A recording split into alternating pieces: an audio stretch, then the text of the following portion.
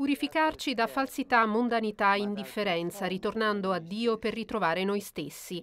Questa è l'esortazione di Papa Francesco per la Quaresima ieri pomeriggio in Basilica Vaticana nella messa del mercoledì delle ceneri. Dobbiamo, ha detto, ritornare alla semplicità e alla condivisione con gli altri facendoci liberare dalla grazia del Signore.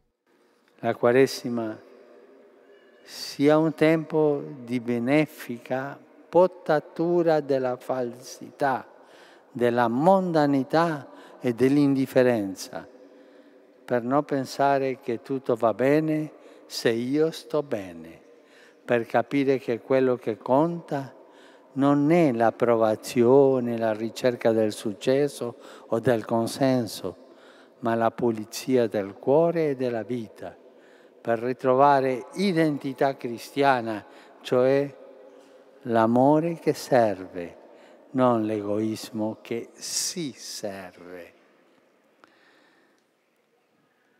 Mettiamoci in cammino insieme, come Chiesa, ricevendo le ceneri. Anche noi diventeremo ceneri.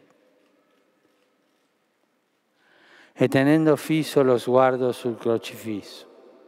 Francesco ha quindi conferito il mandato ai missionari della misericordia che per il Giubileo hanno ricevuto dal pontefice l'autorità di assolvere anche i peccati riservati alla sede apostolica, invitandoli ad essere segni e strumenti del perdono di Dio, aprendo le porte dei cuori, superando la vergogna e aiutando chi è in difficoltà a non fuggire dalla luce divina.